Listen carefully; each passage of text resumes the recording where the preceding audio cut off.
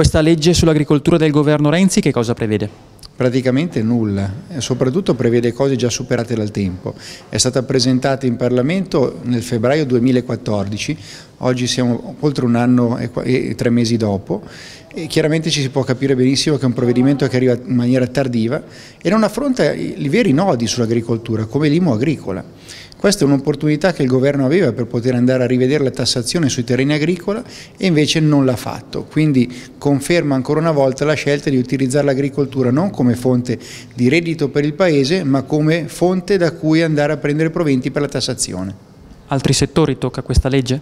Soprattutto non dà risposte, non dà risposte ad esempio come noi avevamo richiesto sulla tutela dei nostri marchi, sulla tutela della produzione, sul Made in Italy, anzi nel frattempo ormai sappiamo che dal primo di aprile di quest'anno sono stati depenalizzati alcuni reati tra i quali anche la contraffazione e la genuinità dei prodotti.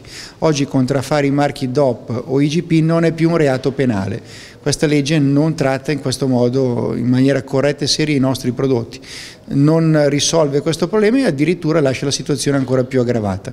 Una doppia beffa, aspettare un anno e mezzo per non avere una legge che dia veramente uno sbocco e una ripartenza della nostra agricoltura, proprio nel momento in cui invece c'è Expo e tutti si lavano la bocca con l'importanza dell'agricoltura italiana.